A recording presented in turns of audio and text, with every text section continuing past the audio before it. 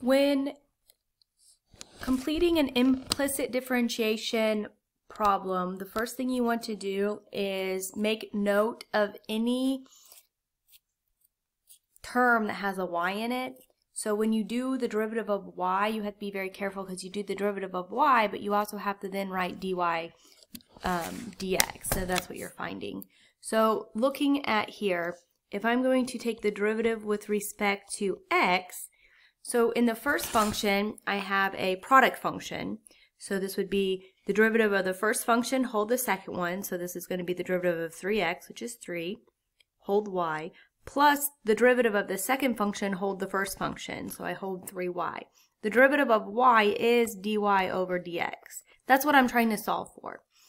The second term is a little more complicated because it's dealing with fraction exponents, but the same concept. Um, they take the derivative of x to the 3 halves, so that's going to be plus 3 over 2 x to the 1 half, hold the y function, y to the minus 1 half, plus hold the x function, x to the 3 over 2 times the derivative of the y function. In this case, minus 1 half y to the minus 3 over 2 times dy over dx. Now this is the probably the most important part that students forget is when they take the derivative of y, y is a function of x. So you take the derivative of the outside, evaluate it at the inside, times the derivative of the inside. And the derivative of the inside here is dy over dx. So this dy over dx is a very important part. That is what we're solving for. Equals the derivative of 4, which is 0. So at this point, the rest is algebra. I'm going to solve for, I'm going to group my dy, my terms with my dy over dx in them on one side of the equation, put everything else on the other, and then factor out my dy over dx.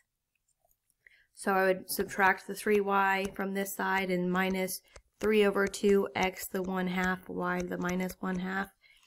So over here I'd have a minus 3y and a minus 3 over 2, x to the 1 half, y to the minus 1 half.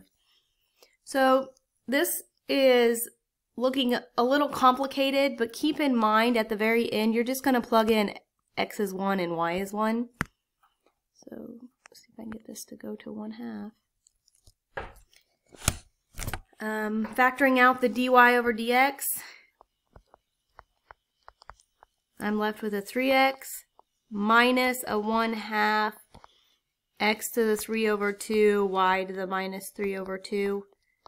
And then I'm going to divide through both sides by that term, and I'm going to get dy over dx by itself.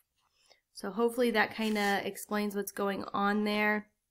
This one is a little more tedious because the fraction exponents but um, the concept's the same. Take the derivative of the first function, hold the second one plus the derivative of the second one. If any of the functions deal with a y, when you take the derivative of the y, you have to take the derivative of the outside, evaluate it at the inside, times the derivative of the inside. That's that dy over dx.